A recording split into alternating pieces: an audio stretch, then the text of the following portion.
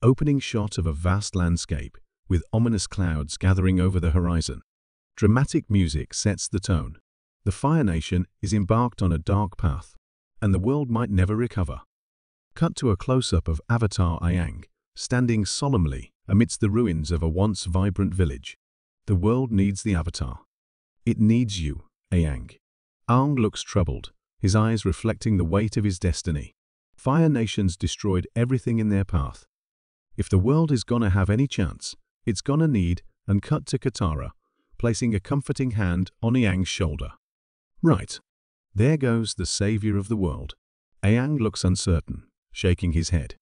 I've chased down every hint of the Avatar. It's my destiny. I'm not someone who can stop the Fire Nation. I don't want the responsibility. Katara gazes at Aang with determination. You don't have to do this alone.